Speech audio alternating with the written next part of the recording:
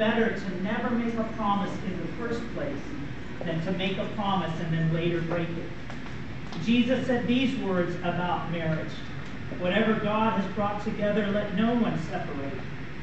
Because the promises that you're about to make are so important.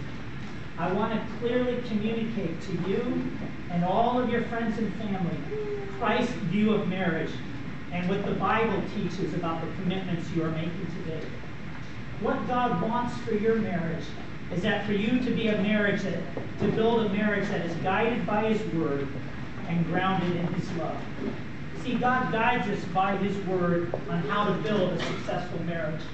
In fact, your marriage is so important to God that it was one of the first things that he talked about in the Bible.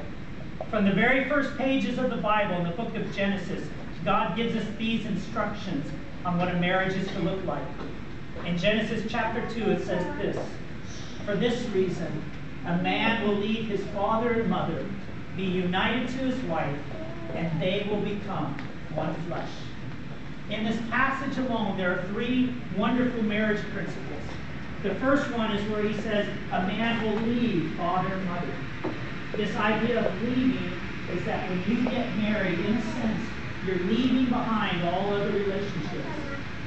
Now, the truth is, our connection to our families is one of the strongest connections that we have.